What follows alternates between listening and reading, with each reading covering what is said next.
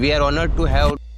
So, generally, my group doesn't just take one disease at a time. So, we are trying to understand the molecular genetic landscape of in India for the very first time. We are using, we are, we are leading India's most systematic study to understand the genetic architecture of this syndrome.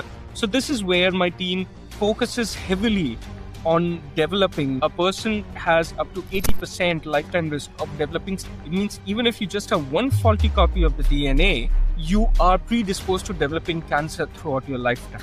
Analytically, it's very expensive to conduct a study of this scale. So, male infertility, you might be surprised to hear. What about the fetal loss? But both mother and father can contribute to a scenario like this. The very next day, he he uh, gives me a check of 500 pounds. that Stay healthy, eat good food, get good sleep, take care of your health. Science can wait, your health can't.